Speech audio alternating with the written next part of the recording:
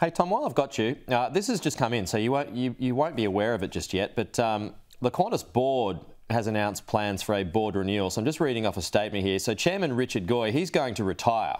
Uh, prior to the annual general meeting in late 2024. So uh, he's not resigning, as a lot of people are suggesting that he should do, but he's going to retire next year. Now, without you, knowing the details, and fully respect that, is there would there be any kind of bump?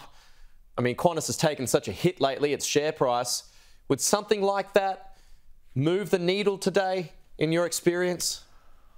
Uh, look, Pete, yes, I suppose you, when you see a fundamental shift in the leadership uh, of an organisation, uh, such as the resignation of a chairman, uh, and then you know often you will see that potentially the composition of the board uh, change as well. There might be uh, some older tenures that um, mm. follow suit.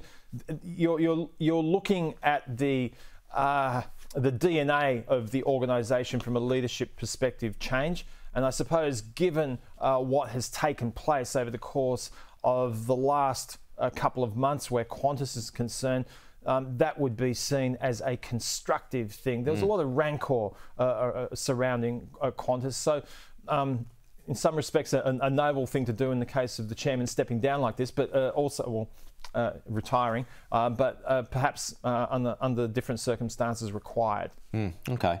So it goes on to say, uh, uh, as announced in May, non-executive director Michael L'Estrange will retire at this year's AGM.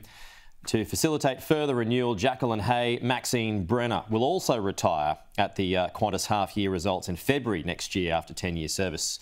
Uh, as planned, three new directors will offer themselves for election at this year's AGM Doug Parker, Dr. Heather Smith, and uh, CEO and Managing Director Vanessa Hudson, as well as existing directors Todd Sampson and Belinda Hutchinson. So there, uh, there is a, a, complete board reshuffle uh, taking place at Qantas. Hey, Tom, thanks for that. Appreciate that. Uh, thanks for the insight there. Uh, we are just collecting ourselves as we come to terms with that news. As we know that Richard Goyder, a lot of people have been demanding he basically step down and follow Alan Joyce out the door.